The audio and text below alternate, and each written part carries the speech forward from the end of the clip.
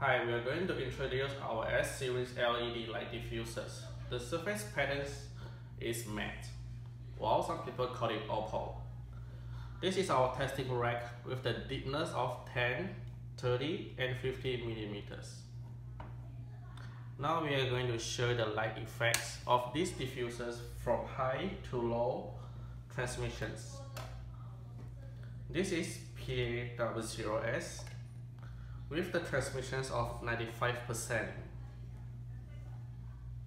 And now we are going to show you PA90S.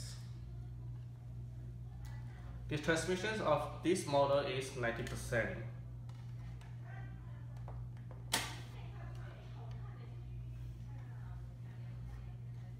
And followed by our model number PA75 S2 with the transmissions of 74%.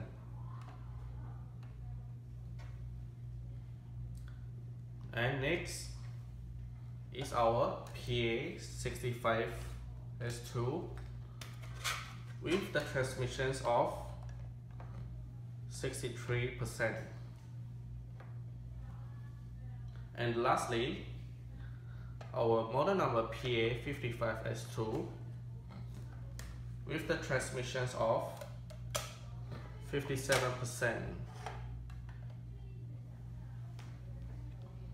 Now we are going to show you the difference of the diffusers light effect.